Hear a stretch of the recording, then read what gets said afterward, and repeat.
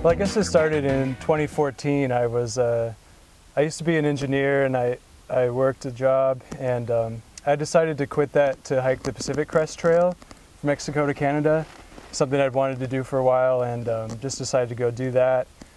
And um, there's kind of a cliche saying in, in that world that through hiking will ruin your life in the best possible way. And I definitely found that to be the case for myself.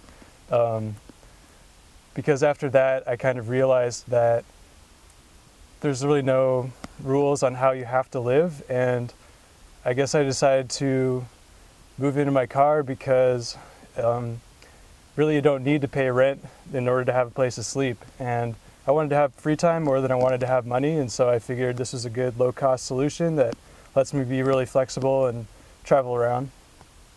I don't, I don't live in this car 365 days a year. I, uh, I sometimes I'll go on a backpacking trip or hitchhiking for a few months, or um, I'll do house sitting, or I'll camp outside somewhere. But this is definitely my home base that I always come back to, and um, yeah, I mean it's got downsides like anything else, but I definitely wouldn't I wouldn't choose to have to work all the time again just to be able to afford rent. So I'd say it's worked out pretty well.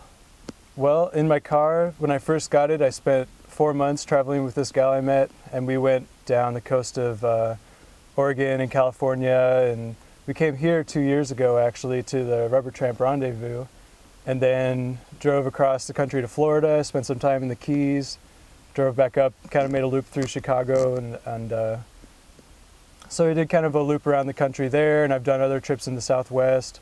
I actually moved in my car from um, Portland, Oregon to Moab, Utah, where I've been living for um, a little while since about May of last year in some ways it's been easier and simpler than I expected. It, um, it's been really more versatile too than I expected. I was able to, you know, I, I, can range from doing things like camping out here in the desert for a couple weeks to um, I lived for seven months in inner southeast Portland, just parking on the street and never had a problem. And it was really cool to be able to just go anywhere and I'm home. Um, so I've really enjoyed a lot of the conveniences of it.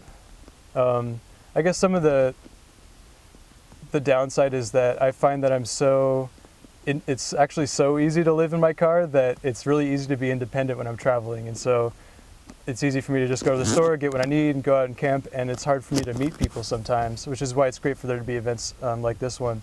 But um, sometimes, if I were to do anything, I'd probably downgrade to a backpack just because when I'm hitchhiking and really out in the elements, then I'm really forced to interact with people and meet people. I got really comfortable living out of a backpack for months on end. And from there, it was really easy to think about moving into a small car because it's like a tent that drives itself and plays music. And so it's really easy and there's plenty of space. But if you're coming at it with the attitude that um, this is going to be a small apartment and you're trying to cram everything that you would normally have in a house into a, into a van, um, I think that'll be a little bit difficult. But you know, everyone's needs are different. So my advice would just be to get out and try it before you decide on anything too permanent. Just go out camping for a while and just really pay attention to to what you need and how you feel about it, and um, and just try to really customize it to your needs instead of following what what people recommend all the time.